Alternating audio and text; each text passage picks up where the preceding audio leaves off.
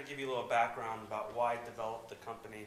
Really strong understanding of what's going on in terms of the regulatory environment, cutbacks for CMS for reimbursement for skilled nursing facilities, better clinical outcomes, patients getting care within their homes, less readmission rates. But then what really hit it home for me was my sister has multiple sclerosis and at one point was quadriplegic and blind. My, I could talk louder. So. I bet there's some pictures up the video, you just like that. Sorry. This count as my time? No, no, we can let you off. Uh, my sister was quadriplegic and blind, and my uncle had ALS, and he required 24-hour care seven days a week.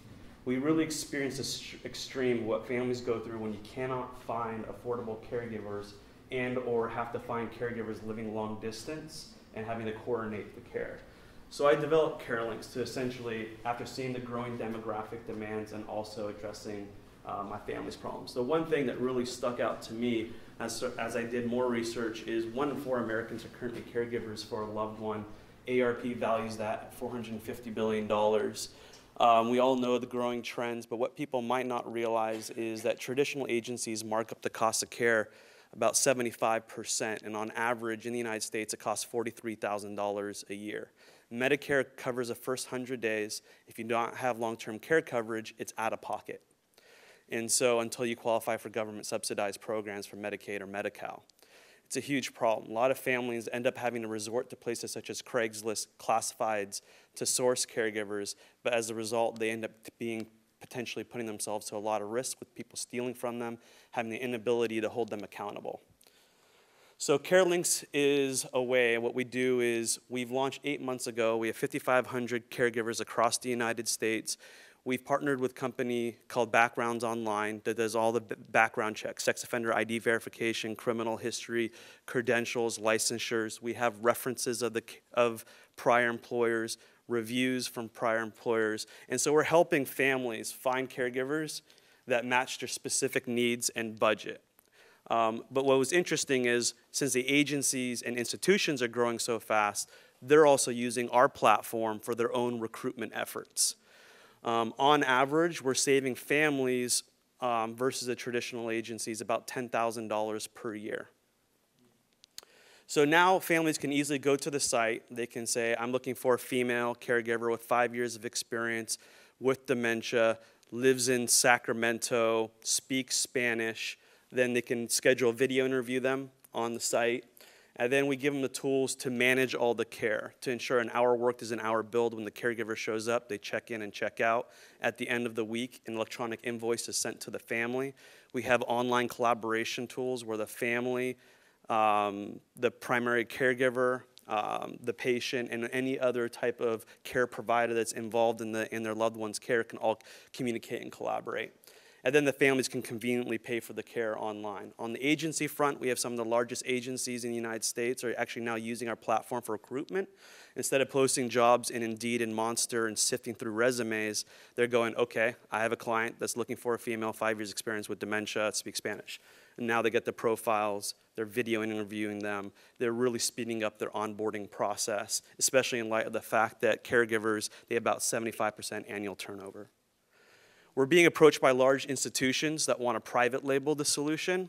Um, so, what we're just trying to do, again, my main motivation for all of this is to make the market more transparent and give families the ability to find that exact caregiver. Don't just search online, get a phone number for some institution, and then they'll send someone to your house. At least give the families more options. I want to search on price, language, religion, my service needs empower them to find that caregiver more effectively. And so even institutions are looking at white, uh, private labeling our product. I just put Home Instead, they're not a customer. I'm just giving an example. Um, so that's CareLinx. Uh, and um, yeah, so we, yeah.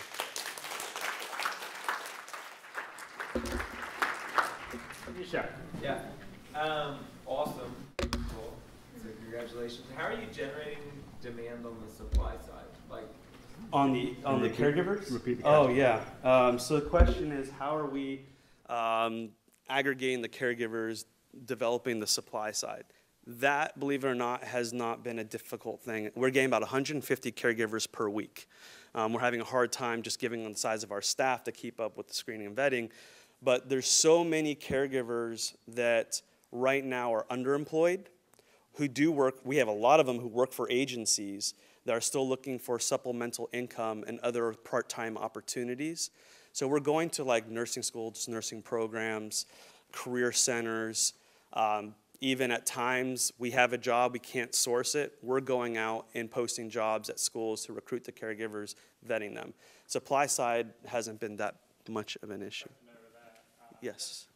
Related to that, do you provide any career development for the caregivers? So we, okay, the- yeah, sorry, the question is career development. So right now, we're actually partnering, we're going down to Texas next week. There's a company called MM Learn, they have online curriculum for the caregivers. We are incorporating that um, into it. We do have a resource center on the, on the site right now that can walk them through it, but we want to be more engaged, would be ideal to have, okay, they've been, they've passed some program. The reality is, majority of the caregivers that we have on there that are finding employment are CNAs. And so majority of them go through programs. We validate their license with their state. Are they active? They're not active. And so, yeah, and be, ideally, I, I definitely, we're planning on doing that. Yes, sir. Uh, yeah, you. Yeah. Yeah. Uh, how are you differentiating yourselves from like other similar sites? 'Cause I think I've seen a couple other ones.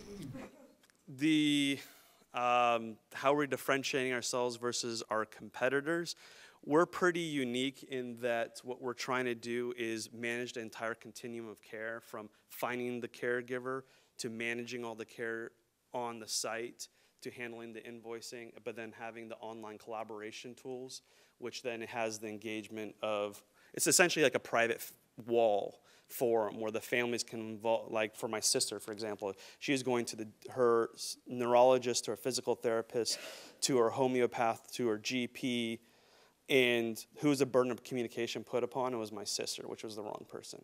And so let's see if everyone starts using it those features are there. And some people at least get daily updates. When the caregiver checks in and checks out at least the family has some archive of what the caregiver did. But those are things that we're trying to do to differentiate ourselves. The reality is the problem's so large that i hope that there's to be more people doing it